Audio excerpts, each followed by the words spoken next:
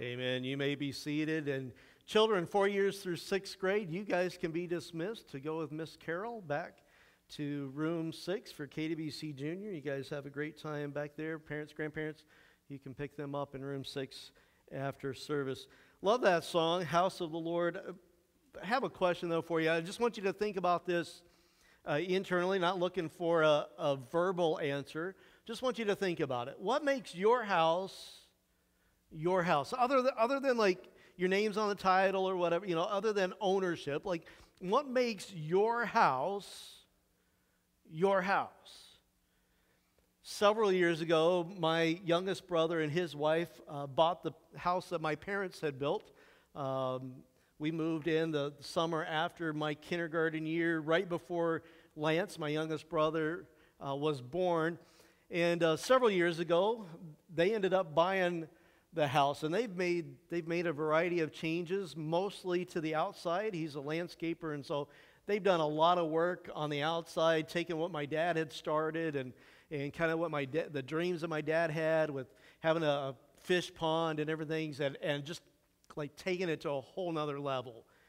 Amazing amazing things. But back at the beginning of this year they started a new project on the inside and it wasn't too far into the project that my brother messaged uh, both Lester and I and said basically, like, he's feeling bad about making the changes to the house. And I'm like, well, we both replied back in, through Messenger, hey, uh, we have great memories there, and, and you know, the house served us well, but it's, it's not our house, it's, it's your house. It's not mom and dad's house, it's, it's your house. You do whatever you need to do to make it your house. Well, he's doing what he wants to do, needs to do to make it their house. They've torn out walls, they're opening stuff up, they're completely redoing the kitchen, they're, they're taking the utility room. What we grew up with is the utility room, the laundry room. They're making that a, a walk in pantry with, with countertops and everything. They're taken the, instead of the utility room being there, they're actually taking that into what was the garage, which we didn't really, like, we never put cars in there. It was just kind of a storage area, whatever, but they moved the, the living room wall part of the garage, but then making the rest of the garage a utility room, laundry room, like huge laundry room. A, a lot, like a lot of different changes, right? There, he, t- he took down the, can't believe he did this he took down the mantle that held my soccer trophies, my ba- basketball trophies, my baseball trophies. Took that down, and the, the stonework around that, completely redid the stonework. Uh, he and his couple sons, uh, they, they redid the stonework and they put in a new mantelpiece that they had cut out and everything. But a lot, like all kinds of changes that they made to the house. Why? Because they wanted to change the form and the function of the house to fit their needs, to fit he and his wife and their kids, their lifestyle, their purposes, their priorities. I'm guessing you might be able to start thinking through like the changes that they've made, just a little bit that I've described, and start thinking, well, what are their values and, and how does it how does the house maybe function? What, what are they looking for as they made these changes? And maybe you've come to maybe these three conclusions. One, somebody in that house must really like to cook if they're going to have a walk in pantry. Somebody must enjoy time in the kitchen. And I see some of you looking around going, sounds like somebody else I know. Somebody must really enjoy time in the kitchen. And, and you would be right if you came to that conclusion. If you thought they must really enjoy, like, being together and having other people around, like opening walls, open concept, and, and being able to enjoy one another's presence, a, a larger family room to gather in and, and being able to like eliminate sight lines and just being able to enjoy each other's company and, and host larger crowds. If you thought of that, you, you would be right. They love having other people over. They've got four kids. Um, basically 20 through like 13 or 14 somewhere in there and and they love you know they've got their kids and then their kids have friends and my nephews are in town and and they've got all kinds of people that they just have coming in and going and stuff inside outside love to host people at their house and so if you thought that as i described the changes you'd be absolutely correct and then if you think huh they must have like a lot of dirty clothes if they like decided to make a larger uh, utility room, laundry room. Like they must have like a lot of dirty clothes. Well, again, my brother's a landscaper, and they have four basically teenagers, and they live out in the country, and they have animals, and they have a pond, and then they have a neighbor pond that they have full access to, and like they get dirty, they get muddy, they're highly, highly active family. So, yes, if you thought, yep, they must have a lot of dirty laundry to do, you would be absolutely correct. Now, why do I tell you all of that? Because as we look at the house of the Lord today, I think we should be able to pick up on like some priorities, some things that are important to the Lord. Some things that like what makes this the house of the Lord? Like, what sets this apart from other places? Why is this different? And, and ultimately, what does this tell us about God? And what does this tell us about us? And so, if you have your Bible, that's where we're going to go after today. We're going to look at answering that question. What does the house of the Lord tell us about God? And then, and like, kind of from there, what does it tell us about us. We're going to be in Hebrews chapter 9. It's page 850 if you want to grab one of the KWC Bibles. Lots of great insight that the Hebrew writer gives here as he continues to lay out the, grand case of why Jesus is better, why Jesus is greater, and, and why Jesus is our anchor. And in doing so, in chapter 9, we're going to see that he, he dives more into talking about the tabernacle, the temple, the sanctuary, the house of the Lord. He's been talking about priests and their function. Now he's going to talk more specifically about the house of the Lord or the tabernacle. We pick it up, chapter 9 of Hebrews, verse 1.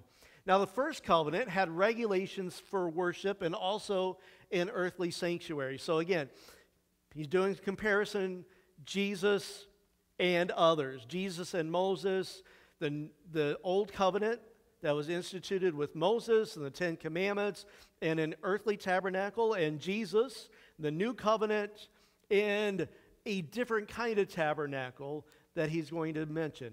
A tabernacle was set up. So they had in Moses' day, they had a what was also called a tent of meeting. So the tabernacle was portable. It had to be because they were going through the wilderness. But God set up a tabernacle and gave Moses specific directions. And we saw this in a previous chapter. I said, well, we'll talk more about that later. Well, this is later. So, specific instructions because it was to be a copy of what is in heaven. And so they would travel with it. The priests would carry different sections of the tabernacle and those different things that were part of the tabernacle, and then they would they would camp out. When the Spirit of the Lord led them to a place and, and stop there, that's where they would set up camp, and they would set up the earthly sanctuary, the, the tabernacle. In its first room were the lampstand and the table with its consecrated bread. This was called the holy place. Behind the second curtain, so if there's a second curtain, that implies that there's what? A first curtain. Somebody's really with it today. Thank you. Behind the second curtain was a room called the most holy place, which had the golden altar of incense and the gold covered ark of the covenant. This ark contained the gold jar of manna, Aaron's staff that had budded, and the stone tablets of the covenant. And then above the ark were the cherubim of the glory overshadowing the atonement cover. The atonement cover is also known as the mercy seat. I'm going to pause right there. Now, some of you when you read or you hear something being read and, and there's some uh, words that are used to describe and all of that, you, can start picturing something in your mind. Some of you, I know, you, you're really good at that. Some of us are a little more challenged with that, if we're to be honest today. Like, I, I can't picture that. It, it's kind of like when you go out to eat and you grab a menu, right? They give you a menu and you start looking at the menu, and like, I don't know, it kind of sounds good, but I'm not sure if I want that or not. But then you look down, and if the menu has pictures, which most of them do, like, ooh, that, that's what I want, right? Because the, the picture gives you an actual image. You, you, some of you, you're good. You can read through and like, yep, I like this, I like that, and that sounds good together. I can picture that. I can even start to taste it. But some of us, we can't taste it until like we start to see it and like, oh, that's what that would be like. That's what they're describing. So, so let me help you out. And just in case you're one of those, and I'm one of those, where it, it's helpful for me to have more of a visual. So I created this drawing. It's pretty good. I, you know, okay, I'm being sarcastic. But we see in Scripture it, it describes a place that was set up. It's about the fourth of a football field, the, the total parameter here. Uh, basically, a fence would be established in the, the center of wherever they were camping out. A fence would be established, and then they would have a place where the sacrifices were made. So the animals were brought to here. They would be sacrificed in the, in the courtyard. They'd be placed on the altar. The altar had four horns, one on each corner, that blood would be dipped on. It'd be part of the sacrifice that was being made for the sins of the people or for them to be cleansed. And then there was a, a bronze laver where the priests would go and wash their hands and do ceremonial cleansing. All of that was, was taking place in the, the outside, the, the courtyard. Now, the Hebrew writer doesn't mention any of that. We're not going to spend a lot of time on this part. What the Hebrew writer is really focusing in on is this 45 foot by 15 foot two room dwelling place or tabernacle.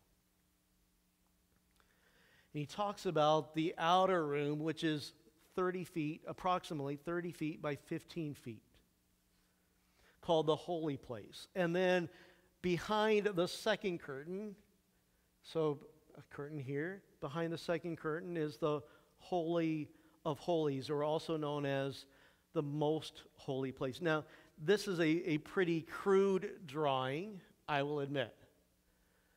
And so, to help you out, I borrowed this from the internet, and hopefully you can see it, especially a little better on the, the bigger screens.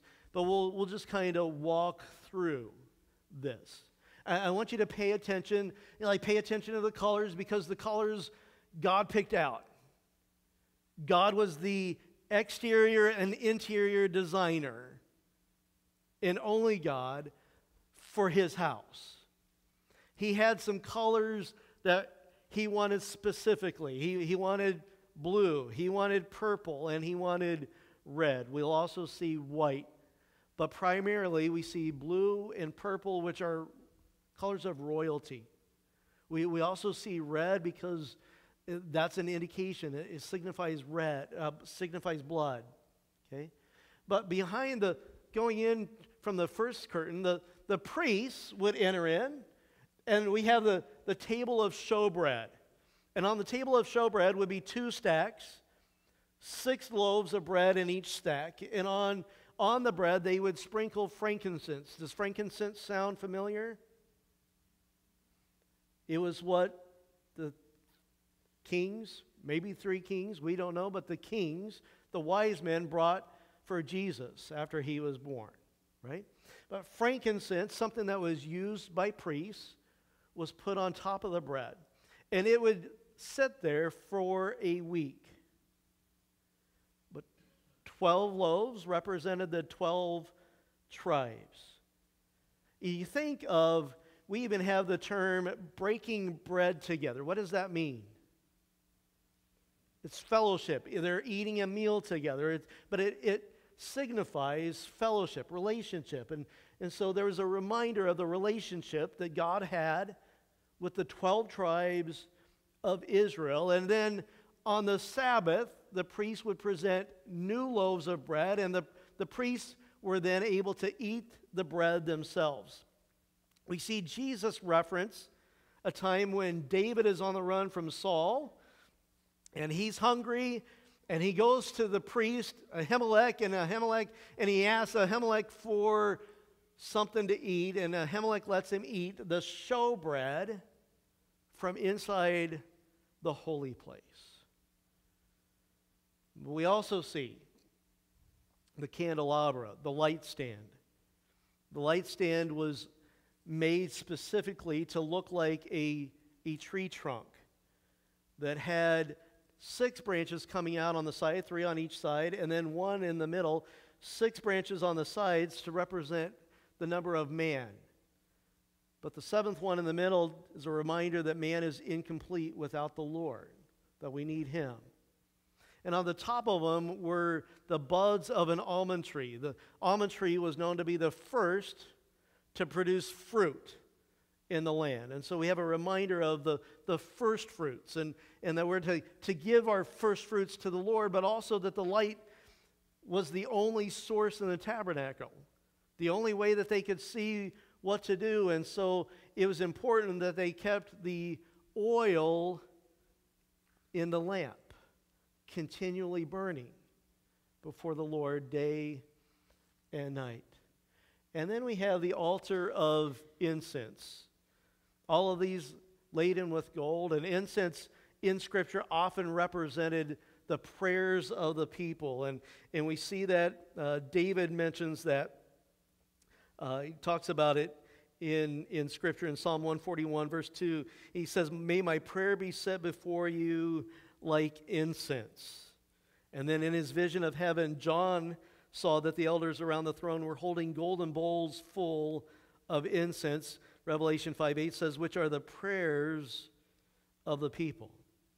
Now, an interesting note in Hebrews chapter 9, the Hebrews writer actually has this altar of incense on the inside of the Holy of Holies. And there are a variety of scholars that have offered their explanation on why the discrepancy and does it really matter and all of that. And I'm not going to get into that. I, I don't really think it's that big of a discrepancy, especially if you understand the purpose and what happened, and, and knowing that on the Day of Atonement, so one day out of the year, the priest would make a sacrifice, the high priest would make a sacrifice, would dip the blood on the four horns of the altar of incense before going into the Holy of Holies. And so it was always connected to going before the, the known presence of God in the Holy of Holies and going before the mercy seat. So beyond the second curtain, the most holy place, the Holy of Holies, was the Ark of the Covenant. The Ark of the Covenant had a lid also known as the mercy seat or a covering, also known as the mercy seat. And that could be open. And inside of that, scripture says in Hebrews 9 that there were three things. Do you remember what they were? We had the manna.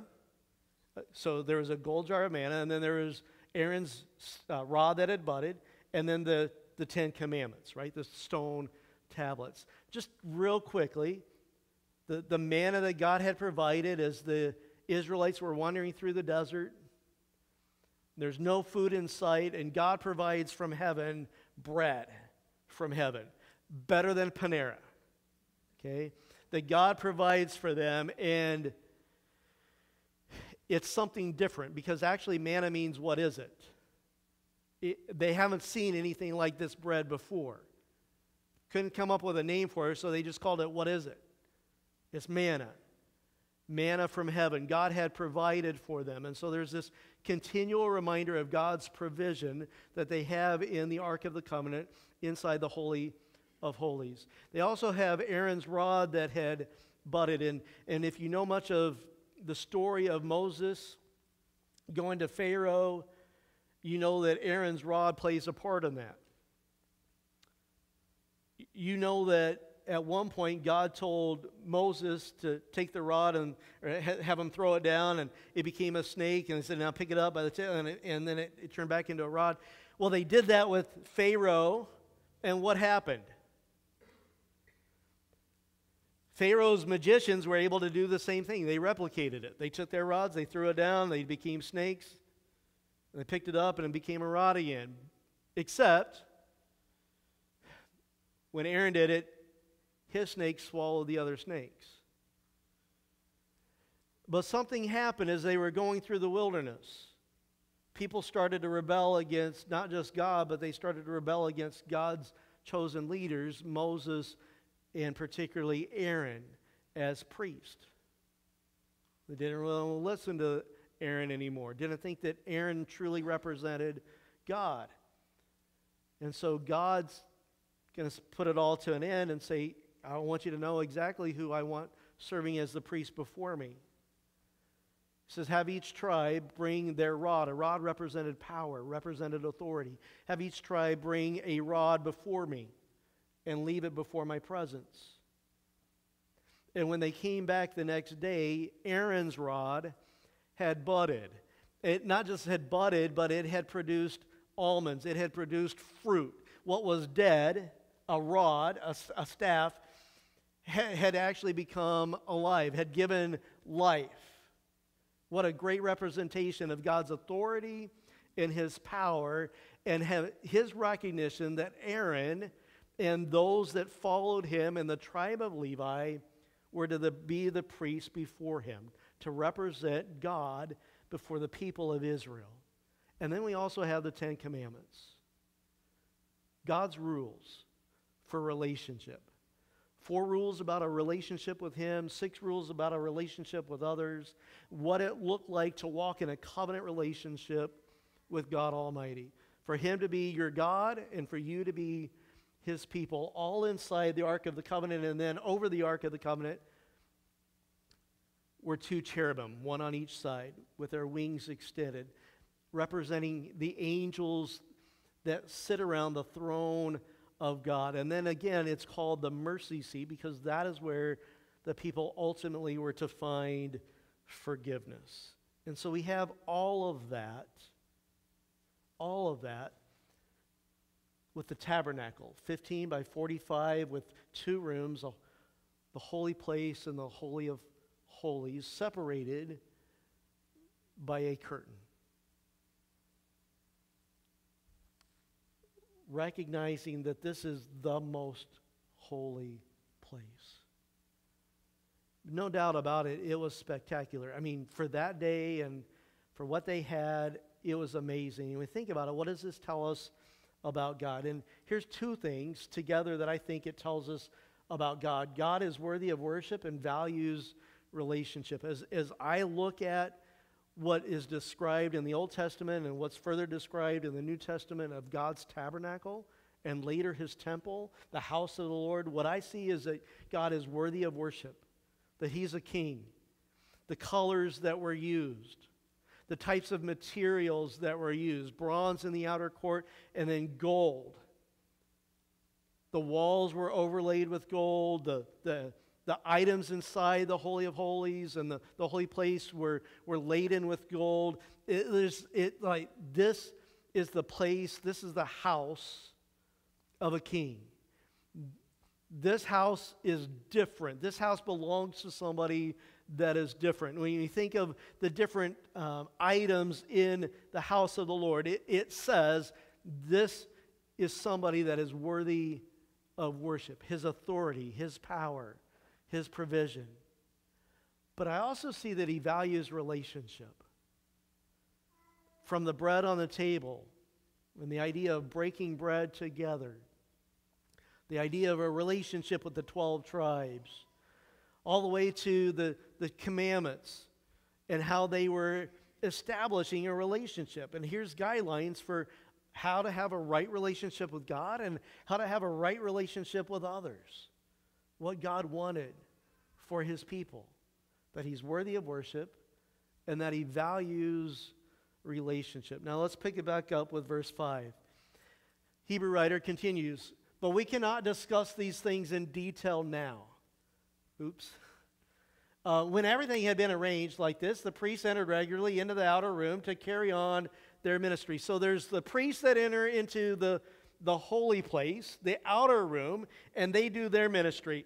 But only the high priest entered the inner room, and that only once a year, and never without blood, which he offered for himself and for the sins of the people the people had committed in ignorance. We'll talk more about the blood next week in its importance. Verse 8 The Holy Spirit was showing by this that the way into the most holy place had not yet been disclosed as long as the first tabernacle was still functioning. Again, the tabernacle is just a shadow, just a copy, just an illustration of a heavenly tabernacle, of a greater tabernacle. It's, it's to kind of whet our appetite for the, the true house of the Lord.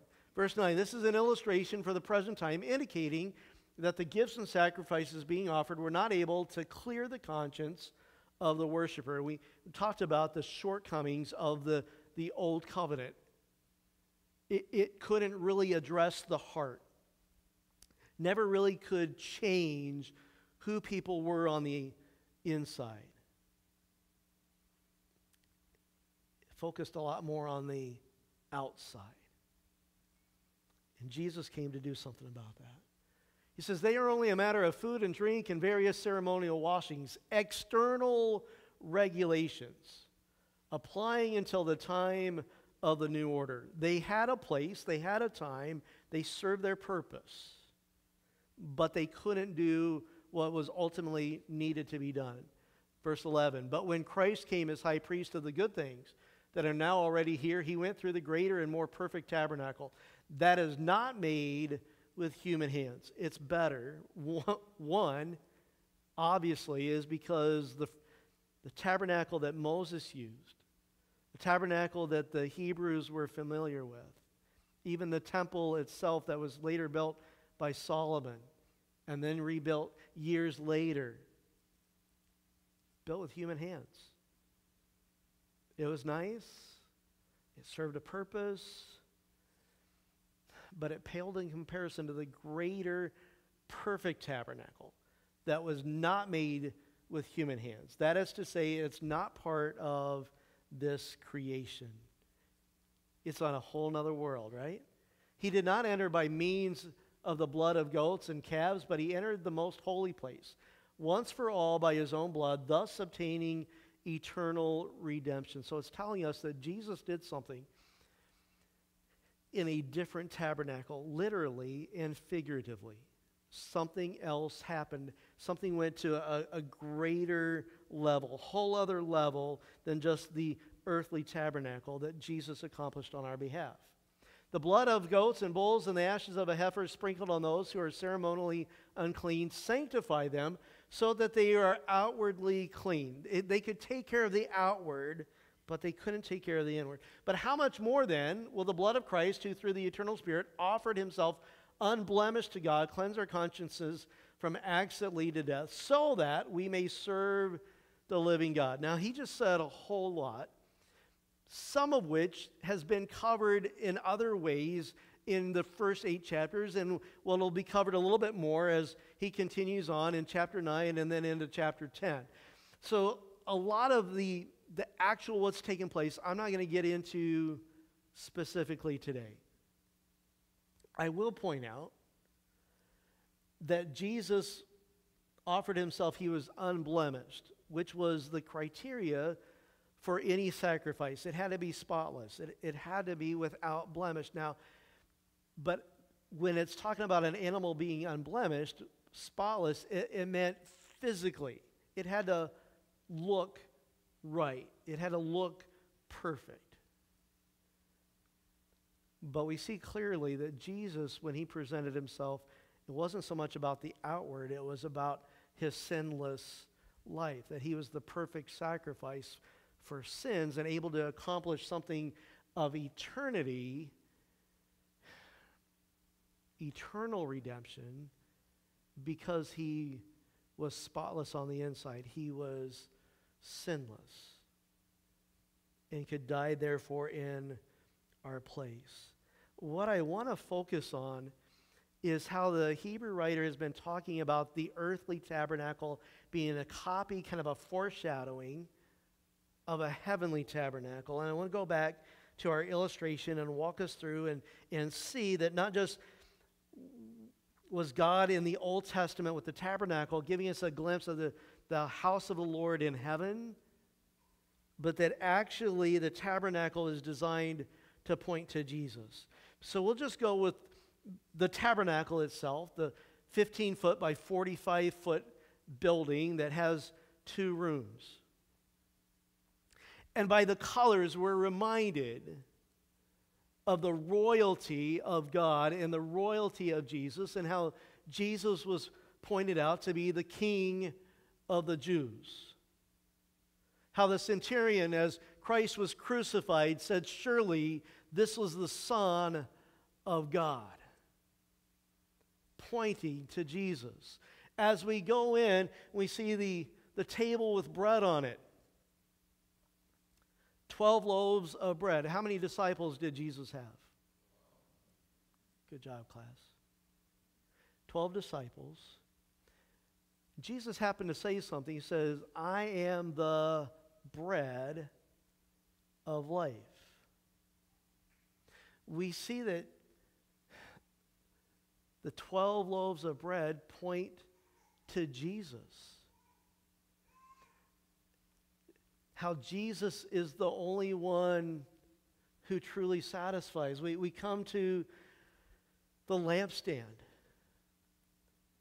And Jesus says, I am the light of the world. It's interesting as we look at Scripture and we see not only did Jesus say that he is the light of the world. But in Revelation 21, verse 22, John is finishing up his, his report of everything that he saw as, as God gave him a glimpse of heaven, a, a glimpse of the end times, a, a glimpse of eternity, a glimpse of the holy city. And in Revelation 21, verse 22, he says, speaking of the city, he says, I did not see a temple in the city because the Lord God Almighty and the Lamb are its temple. The city does not need the sun or the moon to shine on it, for the glory of God gives it light. And catch this, and the Lamb is the lamp. So the lampstand that we have in the tabernacle was, was there all along to point people to Jesus, that He's the light of the world, that the city of heaven the New Jerusalem doesn't, doesn't need the sun or the moon. You don't have to worry about spending $100 to buy a pair of glasses so that you can watch the eclipse. No need for sun or moon because the glory of God is its light and the Lamb is its lamp. We go on beyond and, and we see the altar of incense and we see in Scripture the picture of the intercession of Christ and how Christ prayed for his disciples and those that would follow them. He prayed for us. And we, we see the, the altar of sacrifice in the courtyard was a type of Christ's death on our behalf, but we also see the altar of incense in the holy place was a type of Christ's mediation on our behalf. The prayers of the Lord going before the throne of God, the prayers of Jesus, our mediator, the book of Hebrews has taught, taught us about being our priest, that he, he goes before us. He's our mediator, He's our go between. He prays on our behalf. And that the incense was to be burning continually.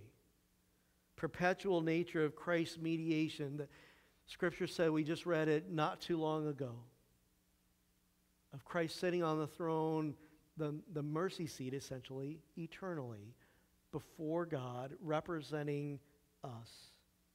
Amazing picture that the tabernacle provides, pointing to Jesus.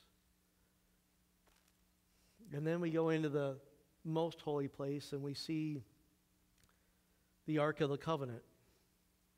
And inside the Ark of the Covenant, we see the jar of manna. And again, it was pointing to Jesus, and Jesus points this out. He pulls this out, the image that, that they would have been familiar with. It's oftentimes lost on us because we didn't grow up in that generation. We weren't exposed to all the, the ways of the Hebrews.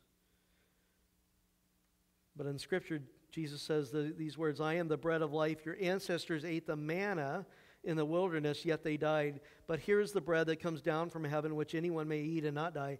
I am the living bread that came down from heaven. Whoever eats this bread will live forever. And then he says, This bread is my flesh, which I will give for the life of the world. This is the bread that came down from heaven.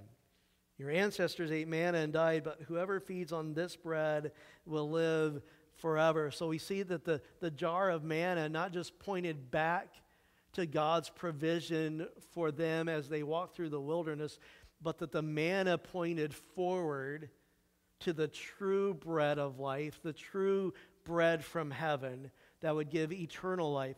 We see as we look at the, the rod of Aaron that budded,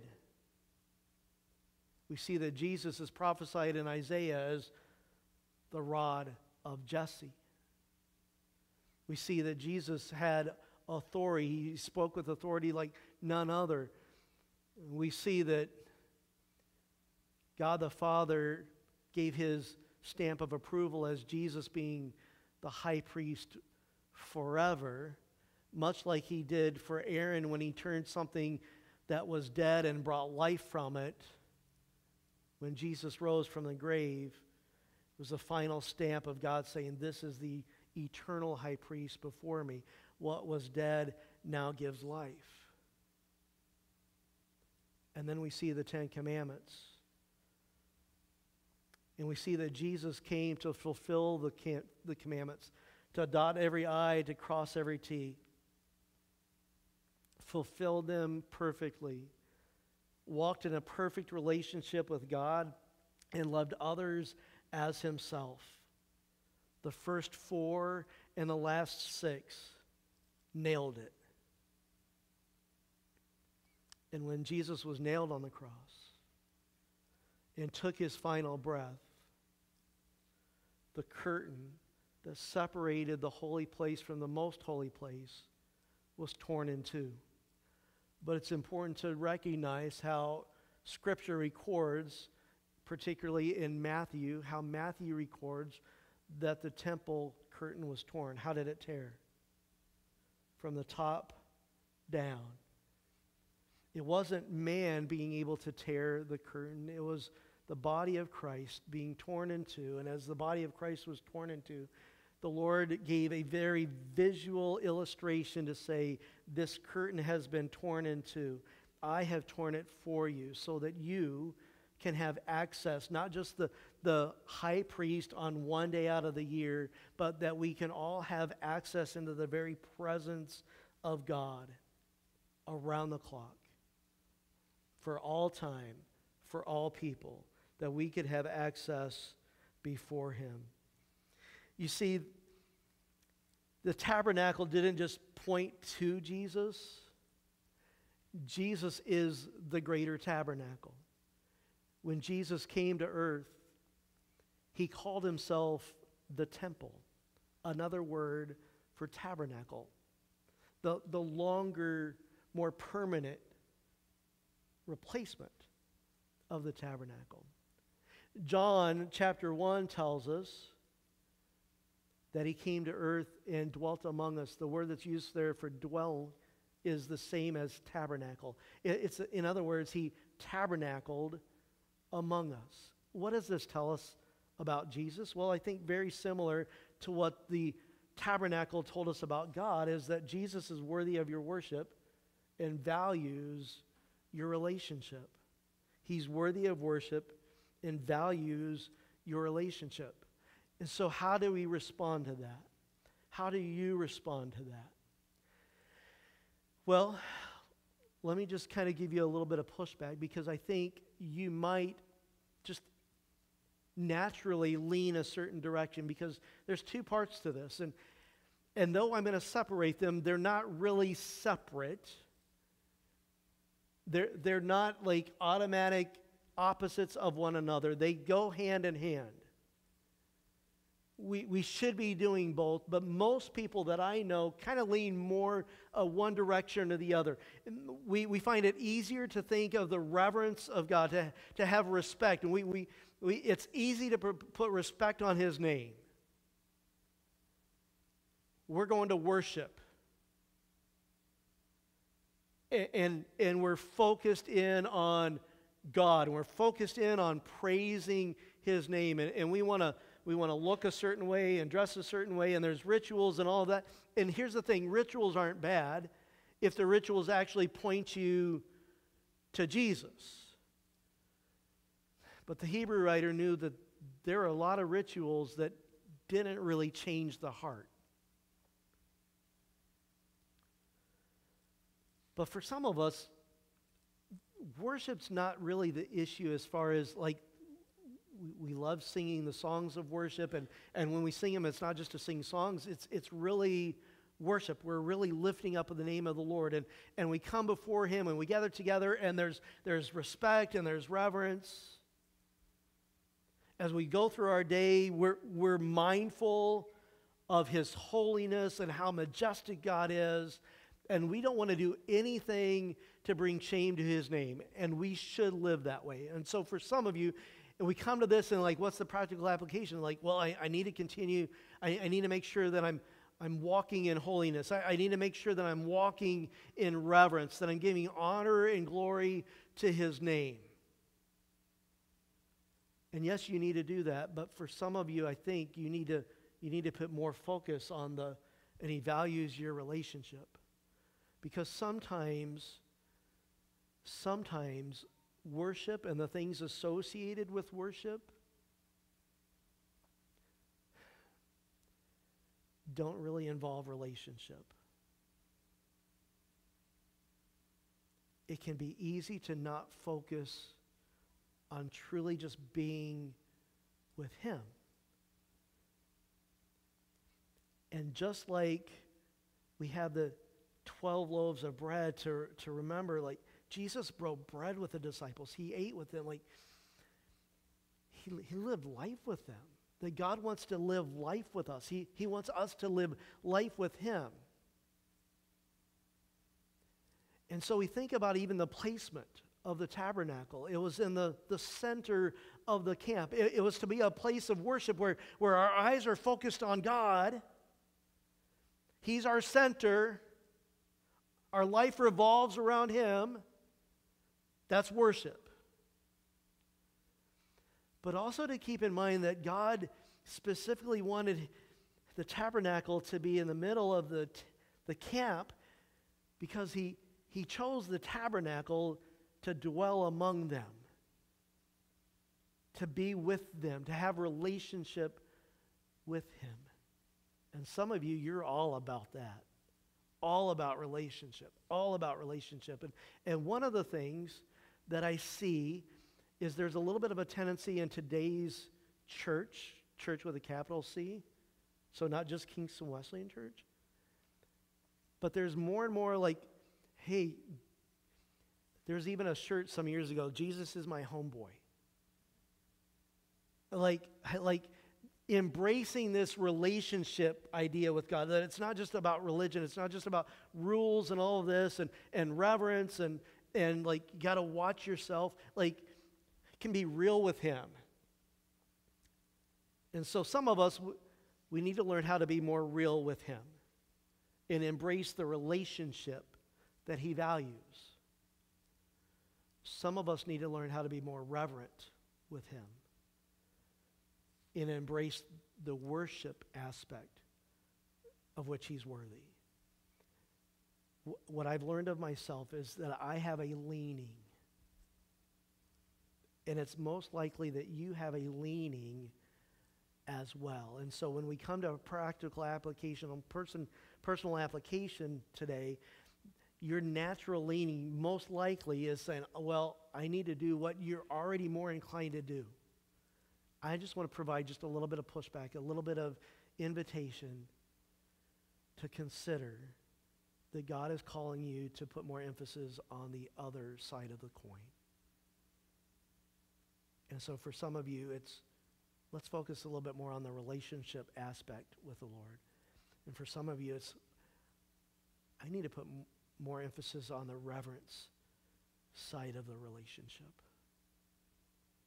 Because he is worthy of my worship. He's worthy of my reverence. He, he is Lord. He's king.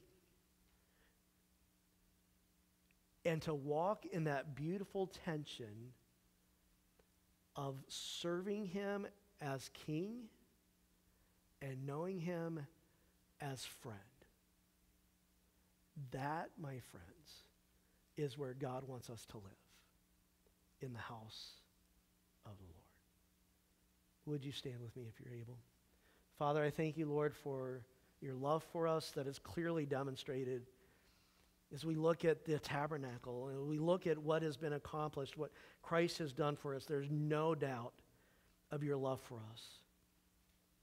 There's also no doubt that you're worthy of worship, that you are Almighty God, the King of Kings. And so, Father, may we bring both of those before your throne today a holy reverence for you, but also a deep desire to walk in intimacy with the one who loves us in a, in a real relationship. May that be so. I pray this in and for your name.